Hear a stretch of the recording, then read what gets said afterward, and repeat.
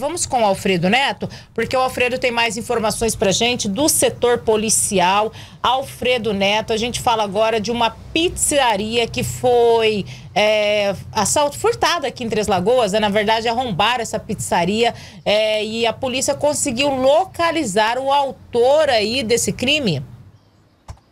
Isso mesmo, Ana. Um homem de 27 anos que foi preso após a polícia receber o boletim de ocorrência e conseguir identificá-lo por imagens de circuito interno. O furto ocorreu na madrugada de domingo para segunda, numa pizzaria na rua João Dantas Silgueira, no bairro Nossa Senhora Aparecida. Após os investigadores da terceira delegacia receber as imagens de circuito interno, conseguiram identificar o homem que, mesmo usando capuz, usando umas roupas ali camufladas, pôde ser identificado pelos investigadores e localizado escondido em uma residência de um colega no bairro Santos Dumont. Lá, os policiais conseguiram prender o homem que confessou o crime de furto e disse que teria furtado o dinheiro para poder comprar droga. E o dinheiro já teria sido torrado em uma boca de fumo.